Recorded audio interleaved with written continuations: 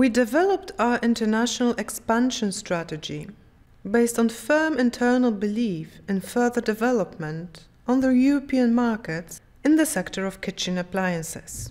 We wanted to use our production capacity, needed distribution channels and brands owned by well structured businesses. We knew already that starting a business on a new market on our own is not something we excel at. There were certain market possibilities, though, we had to take into consideration. We realized that there are only so many prospective partners out there and turned for help to consulting companies. These firms provided us with a list of potential companies open to restructuring, licensing, or selling their brand. After thorough evaluation, if we were interested in the presented project, the whole acquisition process would begin, from due diligence, negotiating, to purchase and signing the contract.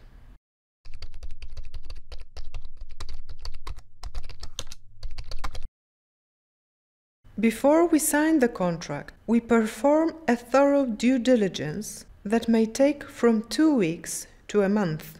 Our specialists, together with consulting agents, prepare a well structured bucket list to check within each of the acquired companies. The whole process happens internally and requires a dedicated team equipped with appropriate tools to check various data.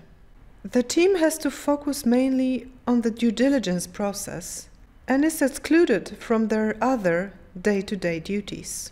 Nowadays, we use virtual data room, so our team doesn't have to travel as much as they used to a couple of years ago. Based on the acquired data, we develop a potential bidding model and start negotiations, which are a vital point in the process. Let me show on an example how crucial are they. One of our recent cases includes an acquisition attempt in Poland which did not end successfully, even though from the strategic standpoint the acquisition would be highly beneficial for us. Unfortunately, both sides had very different approaches to the potential end price. We tried negotiating for a while, but we couldn't reach any consensus in the end.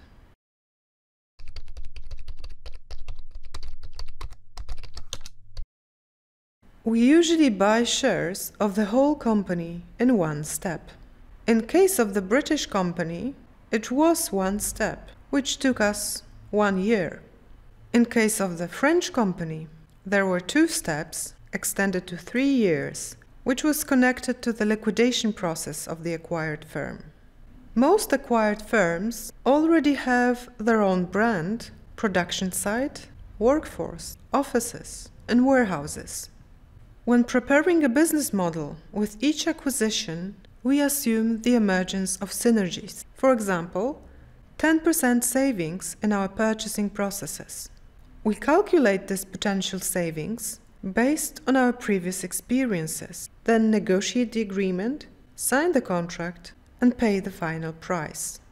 In the next step, our managers rely heavily on the agreed business plan and start turning it into reality after the acquisition process has been completed. I have to admit it's a big challenge.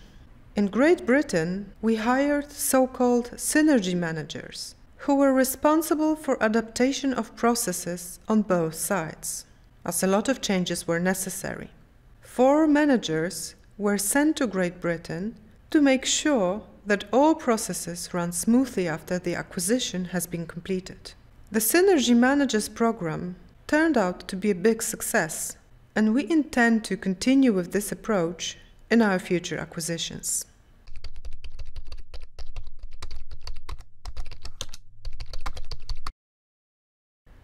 We face a lot of challenges along the way. Sometimes we can really work out great synergies. In some cases, however, it's difficult to meet the assumptions from the initial business plan. In Great Britain, for example, initially we planned to change a distributor. In the end, we decided against it once we found out that our customers would receive worse quality product. Such situations happen a lot. One of the biggest challenges is also combining two different organizational cultures. We do not have any acquisitions on the Chinese market yet, but even the British market has showed us how tricky cultural differences can be. In our British firm, we noticed a very different approach to work, challenges, and relations between headquarters and the acquired company. In the beginning, it came as a surprise, but I have to say it was a great learning experience for the future.